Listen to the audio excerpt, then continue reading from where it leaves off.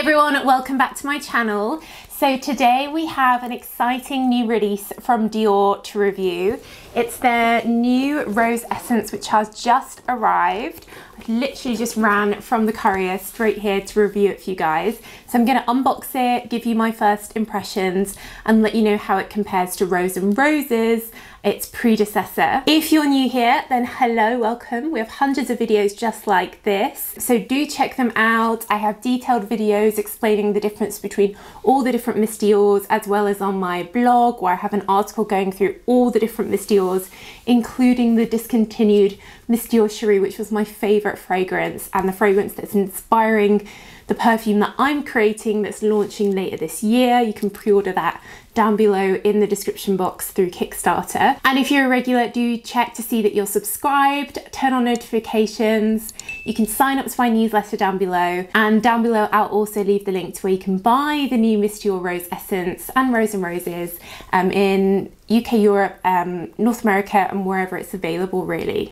So, Miss Dior is best-selling fragrance range, like top three. It's up there with Chanel Coco Mademoiselle and Lancome's La Vie Belle. Those are the three best-selling fragrances really. There's a number in the range. Like i said i loved miss dior cherie which was um, like over 10 years ago. You've got miss dior eau de parfum which was just changed and relaunched. I have a video on that. And then i really love miss dior blooming bouquet and miss dior absolutely blooming and two flankers from the range and plenty of videos on them.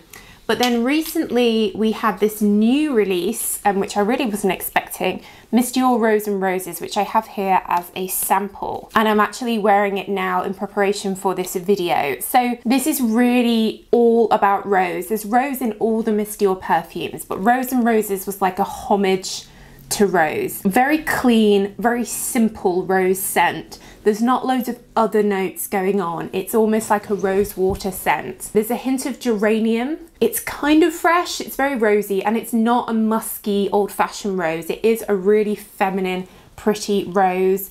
If you like the Chloe Eau de Parfum fragrances, you'd like this. But I found that because it's an eau de toilette and it's so expensive, it's like over a hundred pounds, I found that it wasn't great value for money because within an hour or an hour and a half, I can't really smell it anymore and it needs topping up. So I found it quite a frustrating release.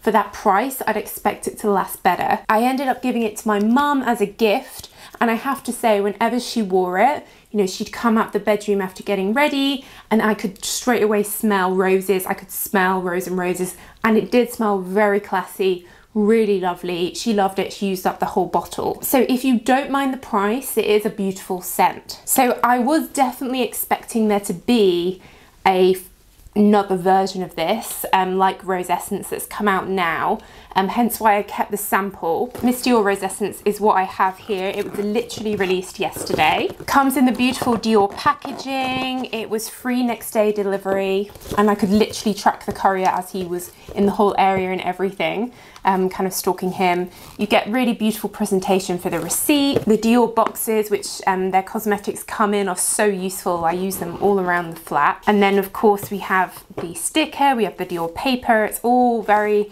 high end, but that's what I'd expect because I paid 130 something pounds for this. Okay, so, hmm.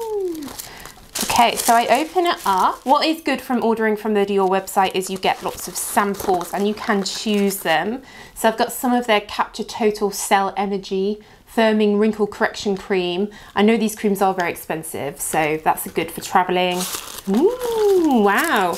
And I even got a cute little Dior pouch with the samples. That is nice. I think their jewelry usually comes in that. So I got a Dior Joy Intense sample because I didn't have the sample of that. I got the Dior Addict Lip Maximizer in a mini. I use the Lip Maximizer like every day. I'm obsessed with it. I've used it since it came out. It has this tingly minty feeling and it feels amazing and it leaves your lips so hydrated so long. It is worth the money. I'll leave that link down below because I can't recommend it high enough. I have it in all different colours. I got a sample of Rose Essence. Now that is really pretty. The presentation, the box, very different to the other Miss Dior's. Oh, and they've given me a lipstick sample as well. So the samples are good. So here's the actual perfume. Um, so it's so different packaging to normal Miss Dior packaging. The Miss Dior's all come in like whitish type packaging with an outline. This is in this blush pink, really different, not what I was expecting. And then this seal here um, is really nice, saying that it's made in 2021 in Grasse in France. Grasse um, is down in Provence in France, where most perfumers, like in Europe, learn their trade and it's famous for perfume. I have been there and it does smell amazing everywhere. So I'm gonna open it up and take a look at the bottle. Okay, so here it is out of the cellophane. It has a kind of recycled feel to the paper, which is nice. Hopefully they have recycled it. Just says packaging from responsible sources. And I notice it's still not saying vegan or cruelty free. So to open this up, I think I have to break that seal. So I just pulled it and it's just come apart like that. There's the back, it's like a cardboard indentation. This is so unusual. This packaging must be so expensive for them to make. Okay, so it's got like a little door um, without a hinge. It opens and then there's the fragrance. So first impressions are, as always, with Dior, it's beautiful bottle. Miss Dior is the most beautiful bottles in my opinion. They really put time and effort into them. And we've got quite a hot pink colour to the liquid. We've got Miss Dior on in like a silver metal, rose essence printed on We've got the CD logo here on this little ribbon. They seem to be using ribbons now rather than the uh, metal bows. And then the signature Dior pattern on the side. You know, it looks amazing, but again, for the price, I want it to look amazing, right? Okay, so it says made in France, 100 mil, 3.4 fluid ounces. So it's beautiful. The first thing I noticed when I ordered this is that it is a eau de toilette. Now, I was sure that they would release a Rose and Roses eau de parfum, and especially with a name like Rose Essence, that usually means it's going to be more concentrated, like an extract. So let's see. So I've got Rose and Roses on here and I can smell it, but that's because I only sprayed it like 20 minutes ago. It's a very light spray. Oh, okay. It's quite different to Rose and Roses. Hmm. Really quite different. It's much more, it's a bit more woody, it's a bit greener. Um, it's a different type of rose. Interesting.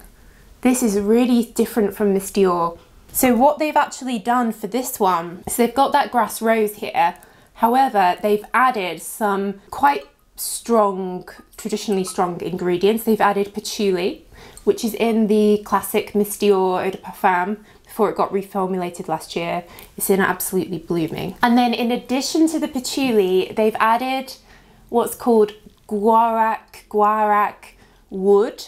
Now, that is a woody, mossy, almost oody scent profile. Now, we've not had anything like that in the Miss Dior range before. It's more something I'd expect to see in like Dior Poison. And it's also not something that I associate with an eau de toilette. It tends to be in quite heavy oriental fragrances. So I would say that this is coming out quite oriental. It's almost smoky and leathery and the rose is kind of gone. I get a bit of greenness, but all I'm really getting is the patchouli, that guaiac wood, and a smoky rose. So this, I would say that this scent could almost be unisex. It doesn't feel particularly feminine to me at all and nothing like Rose and Roses, which by the way is almost gone. So I have to say my first impression is I'm quite taken aback and surprised. It's absolutely not what I expected. The branding, the bottle and the scent don't match at all. I would have called this something like rose wood or I probably wouldn't have even have called it and, and branded it to be all about the rose because it's it's not all about the rose, it's about that patchouli and that guaiac wood, which I can't pronounce. So I feel like the normal Miss Dior buyer would not like this. Perhaps this is trying to go for a different market. If you're into your more woody oriental scents, I think you should definitely try this.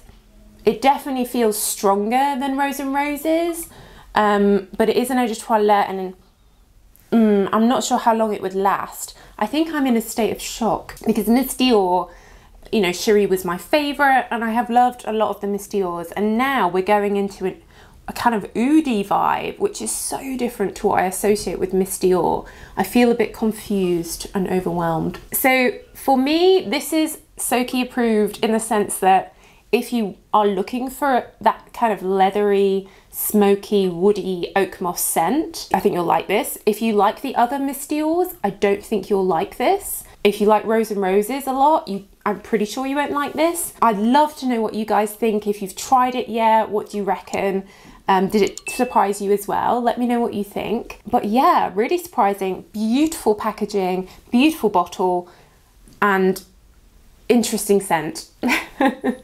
so that's it, guys. Let me know what you think in the comments down below. I do read all your comments. Um, but that's it. So thank you so much for watching, as always, and I will see you in the next video.